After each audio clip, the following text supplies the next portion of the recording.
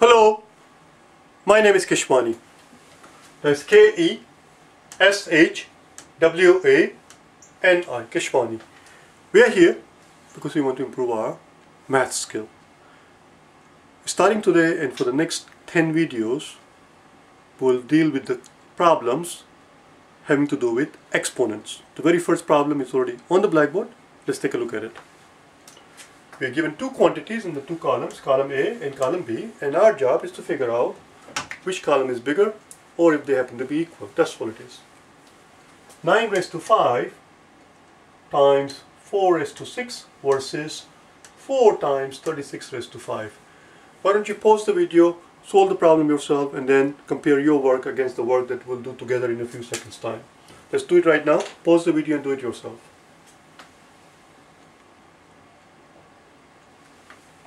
Alright, this problem as you see there, I hope that I hope that you were able to tell immediately that if this problem, if it does appear something like this on the exam, it will appear, it will qualify as an easy problem. It's a very straightforward, simple problem.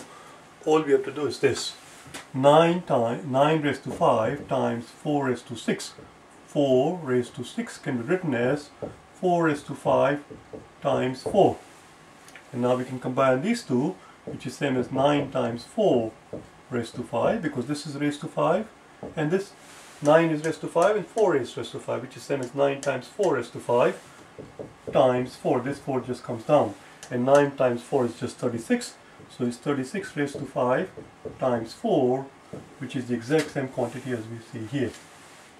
So the answer here is C. Question was which column is bigger? The answer is neither column is bigger. They're both equal. Answer is not A or B. Answer is C they are both equal. Let's do one more, shall we? You want to do one more? Let's do one more. Again, as soon as I put the problem on the blackboard, I want you to pause the video and do it yourself. Here's the next one. Same exact scenario. Column A, column B.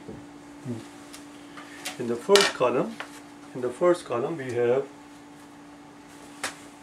3 raised to 5 times 7 raised to 6 versus 7 times 21 raised to 5. Go ahead, do it yourself and then we'll do it together in a few seconds time.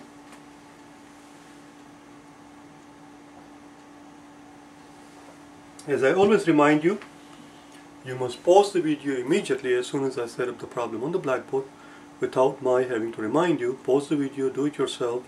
After you finish doing the problem yourself, resume the video and then compare your work against the work that you and I do, to, do together. That way you will get more out of it. This problem that you see on the blackboard is no different than the one we just finished. It's the exact same concept, same exact technique, same exact logic. 3 raised to 5 is simply 3 raised to 5 and 7 raised to 6. 7 raised to 6 can be written as 7 raised to 5 times 7. Now we have 3 times 7 which is 21 raised to 5 times 7. 21 raised to 5 times 7 is exactly what we have here. These two are, these two are equal. Again, this is a very easy question.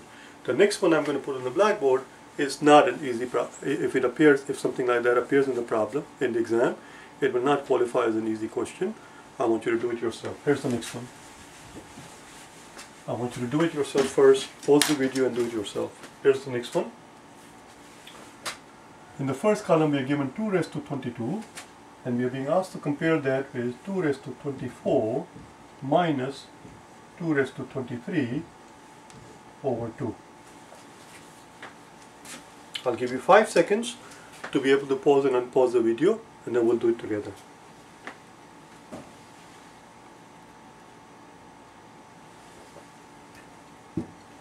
Alright, here we go. 2 raised to 24 minus 2 raised to 23 over 2 the first thing the first thing we need to do is somehow get rid of this denominator here, the 2 at the bottom there because it's annoying. We can get rid of this 2 from the bottom by multiplying both columns by 2. Multiply this column by 2 and multiply this column by 2.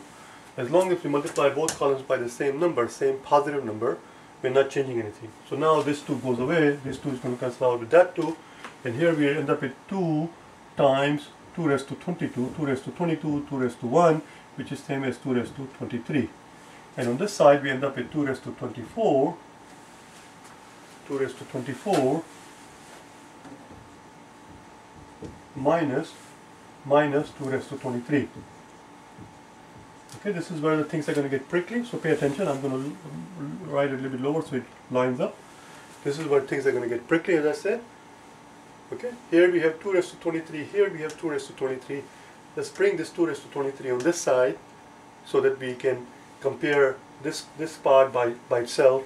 Let's add, how do we bring it to this side? Well, uh, let's add 2 raised to 23 to both columns which is perfectly legitimate. As long as we add or subtract same numbers from both columns, we're not changing anything. This is very straightforward. Negative 2 raised to 23 and positive 2 raised to 23. Of course, they're going to cancel each other. That was that was the whole bloody point.